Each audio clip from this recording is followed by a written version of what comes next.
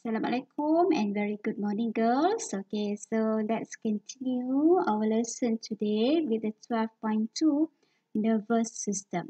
At 12.2 nervous system is the second subtopic in the chapter chapter 12. Yeah, okay, so let's go to the learning standards that you have to cover for today. Okay, number one, construct an organizational chart and explain structures of the human nervous systems yeah, that consists of the central nervous system. The central nervous system consists of the brain and spinal cord, and then a peripheral nervous system yeah, that consists of the sensory receptor, cranial nerve, yeah, and also the spinal nerve. Okay, so that is referred to the structures of the human nervous system. And then number two, explain the function of the parts of the uh, of in the central nervous system. Yeah, part of the central nervous system they are related to coordination and response. Okay, so you have to uh, care, uh, to find out uh, the functions of the brain yeah, of the brain that refer to the structure of the cerebrum, cerebellum, medulla oblongata, hypothalamus, yeah, pituitary gland. Yeah, and then uh, the other uh, parts of the central nervous system is spinal, spinal cord. Okay, and last one, communicate about the functions of parts of the peripheral nervous system in coordination and response. Okay, so that is referred to the learning standards that you have to cover for today. It's all about the nervous system.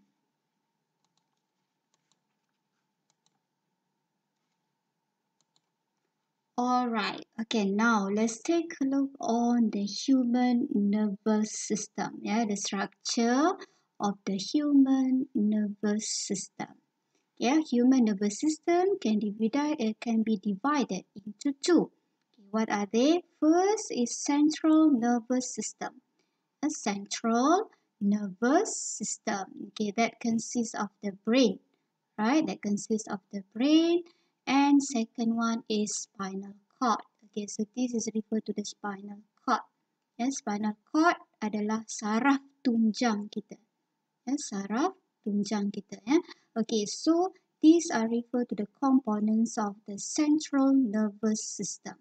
Ya, brain and spinal cord. Okay, so the second one. Yeah, the second system is peripheral nervous system. Yeah, peripheral nervous system. Peripheral nervous system consists of cranial nerve. Yeah, cranial nerve. Okay, also located in the brain and also spinal nerve. Okay, spinal nerve is comes out from the spinal cord. Okay, that are referred to the spinal nerve. Alright, so you have to know that human nervous system, the structures of the human nervous system can be divided, uh, can be divided into two systems. Okay, what are they? Central nervous systems that consists of the brain and spinal cord. And second one is a peripheral nervous system that consists of cranial nerve and spinal nerve. Okay, then the peripheral nervous system connects sensory receptors and receptors to the central nervous system. Right, so the peripheral nervous system will connect all the sensor, all the receptors yeah, to the central nervous system. Yeah.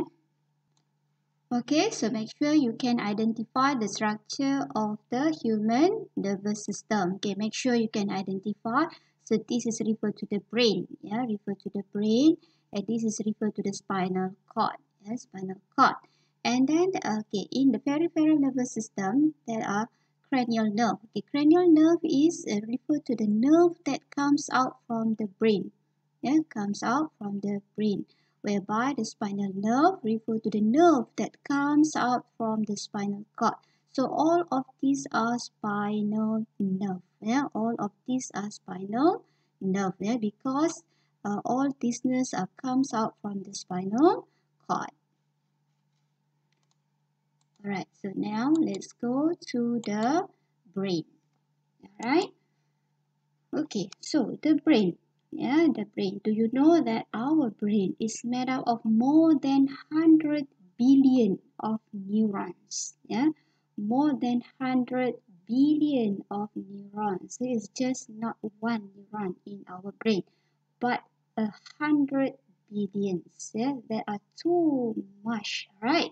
Okay, so what is the brain? Brain is referred to the coordination and control center.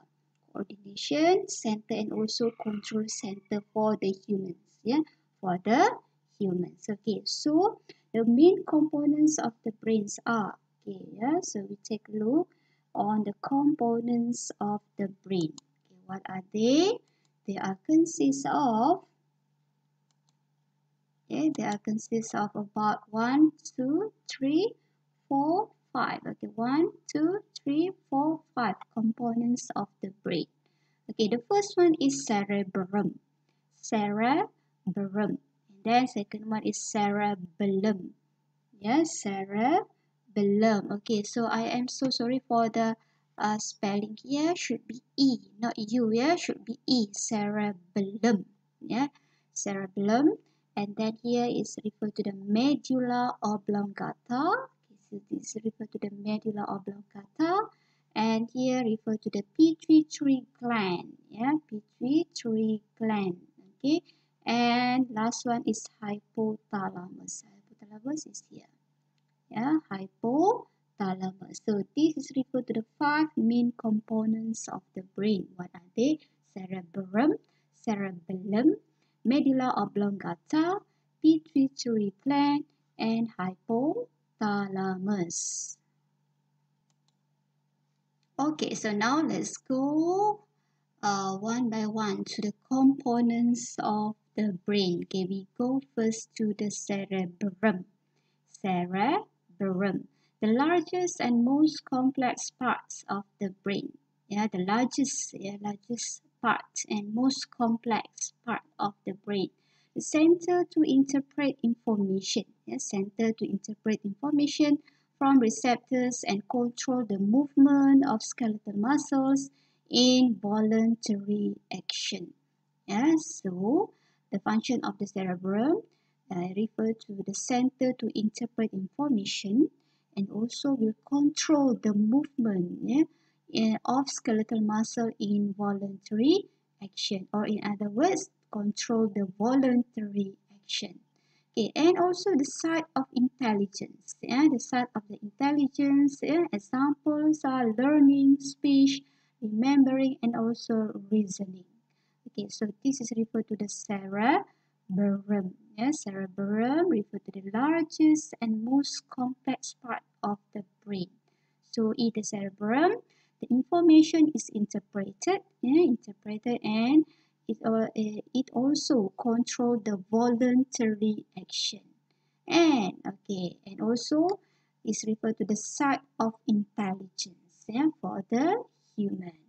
Okay next we go to the cerebellum. Okay cerebellum. Okay so which one is cerebellum? So this is referred to the cerebellum. Yeah cerebellum. Okay. So the cerebellum here coordinates muscle contraction during body movement. Yeah, okay, contract muscle contraction during body movement. Right? Okay, and then controls body balancing. Controls body balancing. Okay, during we walk, uh, so the cerebellum will carry out the function to control our body balancing. Okay, and then medulla oblongata. So this is referred to the medulla oblongata. Yeah, controls involuntary action. Yeah, controls involuntary uh, action such as heartbeat, blood circulation, and also breathing. Okay, what is the refer to the uh, involuntary action? Uh, refer to the uh, action that we are not aware. Yeah, we are not aware yeah, that occur inside the in the in the body or we are not control it right? Okay so that is referred to the involuntary action. And also as reflex center as reflex center okay? So example blinking of eyes yeah, sneezing and also coughing yeah? So this is referred to the reflex action.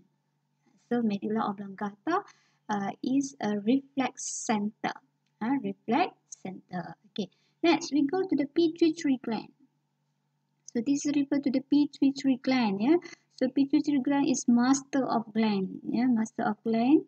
Uh, it secretes hormones, yeah, it secretes hormones that influence other glands, yeah, control body functions such as growth, osmoregulation, and reproduction. So pituitary gland, we are we will discuss um, more about that yeah, in detail about that in the endocrine, yeah, in the endocrine system. Okay, and then last one, last components of the brain is hypothalamus. Okay, so this is referred to the hypothalamus.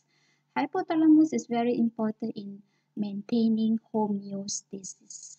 Okay, maintaining homeostasis. Okay, what is a homeostasis? It is a regulation. Yeah, okay, regulation of what? We will discuss it more in our next subtopic. Yeah, and sorry, next chapter. Uh, in the next chapter.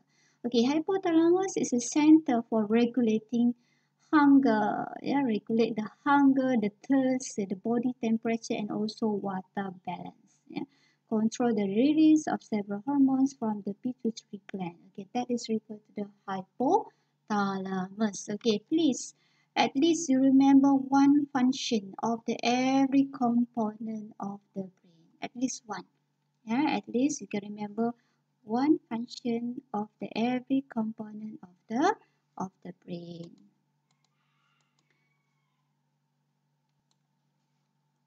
Okay, next we go to the spinal cord. Yes, spinal cord. Yes, spinal cord. So brain and spinal cord is a component of the central nervous system. Okay, so spinal cord. Ya, dalam bahasa Melayunya adalah uh, saraf tunjang. Ya, saraf tunjang. So where is the spinal cord located? Okay, it is located within, yeah, within the vertebral column, yeah, within the vertebral column and surrounded by cerebrospinal fluid. Okay, so what is a vertebral column? Vertebral column refer to the our backbone, yeah, our backbone. So in our backbone there is a spinal cord. Yeah, there is spinal cord that's surrounded by cerebrospinal fluid. Okay, so the spinal cord is made up of white matter and gray matter. Yeah, white matter and gray matter. Okay, so gray matter comprise cell bodies. Yeah, gray matter comprise of cell bodies of the neuron, while white matter consists of axons. Yeah, covered in myelin sheath. Yeah, of the neuron. Okay, so what is the function of the spinal cord? Okay, before that, we go to the structure of the spinal cord. So this is referred to the spinal cord. Here, refer to the spinal cord. Okay, so this is our backbone or vertebral column. Yeah, the grayish color here refer to the our backbone or vertebral column. So uh, inside our vertebral column, there is a spinal cord. So this is referred to the spinal spinal cord. A spinal cord consists of the white matter and gray matter. So in the middle here, in the center here, uh, the shape is look like H here or butterfly here. It is a gray matter. Yeah, gray matter. And here, yeah, okay, outside of the gray matter here is referred to the white matter. Yeah, okay, so this is referred to the uh, components of the spinal cord. Yeah, it's made up of white matter and also a gray gray matter. Alright, okay, so what is the function of the spinal cord? Yeah, why the spinal cord is very important? Because it processes a few types of sensory information and send response through the motor neurons. Okay, and then it will control reflex action. Okay, spinal cord will control our reflex action. Yeah, our reflex action yeah such as when we touch the hot kettle okay so when we touch the hot kettle so that um, uh, response will be carried out by the spinal cord all right okay uh, that uh, the, the spinal cord will uh, will process yeah, process the information and will trigger a response yeah so it will control the reflex action and the spinal cord will control the reflex action and connect the brain with the peripheral nervous system. Okay, spinal cord will connect the brain with the peripheral nervous system. Okay, what is the peripheral nervous system? It is consists of the cranial nerve and also spinal spinal nerve. Okay, so that are referred to the function of the spinal cord. Alright, okay, now let's take a look on the functions, yeah, the detailed functions of the spinal cord structure. Yeah, the detailed function of the spinal cord uh, structure. So this is referred to the spinal cord structure. Yeah, spinal cord structure. So you have to know that spinal cord is located uh, within the within the uh, vertebral column okay or within our backbone. Yeah within our backbone. So we already discussed just now that spinal cord consists of yeah gray matter okay here I refer to the gray matter and also white matter. So this is referred to the white matter yeah white matter. So the gray matter gray matter consists of the cell bodies of the neurons yeah? so there are a lot of the cell bodies here in both sides, yeah, left and right side. Okay, a lot of the cell bodies in the gray matter. And white matter contains myelin sheath yeah, of the neurons. Yeah, myelin sheath of the neuron. Okay, so let's take a look on the structure again. Yeah, structure of the spinal cord. Okay, the spinal cord also consists of okay this root. Okay, so this is referred to the dorsal root. So this is referred to the dorsal root. Yeah, dorsal root. Okay, so the dorsal root contains yeah or have dorsal root ganglion. Yeah, okay, contains uh, or have a dorsal root ganglion. Yeah, ganglion referred to the uh, a part of the dorsal root which is swollen, uh, which is swollen part. Okay, and then this is referred to the ventral root. Yeah ventral root. Okay so what is inside the dorsal root? Okay the dorsal root contains axon. Yeah, axon of the sensory neuron that send nerve impulse to the spinal cord from the sensory receptor. Okay so this is referred to the sensory receptor from the sensory organ. Okay so what happened in the sensory organ? Uh, the sensory receptor will detect the changes, yeah, detect the stimuli and convert it into the nerve impulse and the nerve impulse will be carried or will be sent to the spinal cord yeah, through sensory uh, neuron. Yes, so through the sensory neuron, yeah, to the uh, to what? To the spinal spinal cord or integration center. Okay, so the sensory neuron will uh, enter into the spinal nerve here. Okay, so this is referred to the spinal nerve and will go through the dorsal root. Yeah, will go through the dorsal root and enter into the gray gray matter here.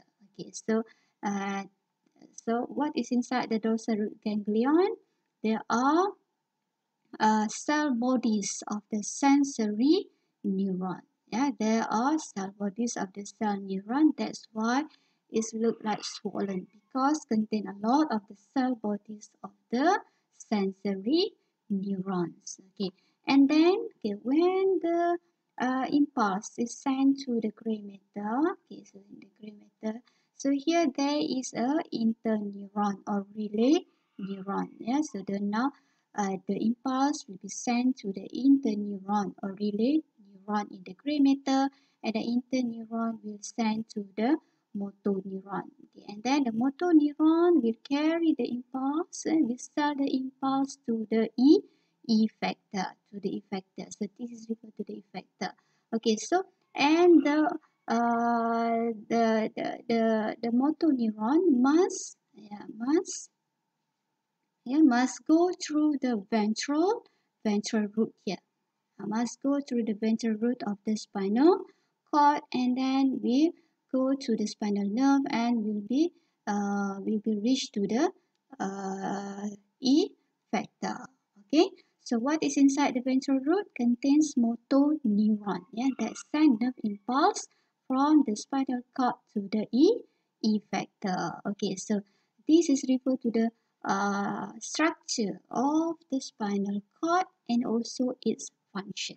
Yes, spinal cord consists of the gray matter, white matter. Okay, this is referred to the dorsal root. Yeah, dorsal root, and this is referred to the ventral root. Okay, what is inside the dorsal root?